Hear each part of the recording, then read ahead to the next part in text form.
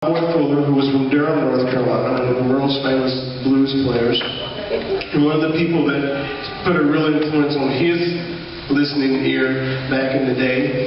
Um, so we're going to play a piece called Step It Up and Go.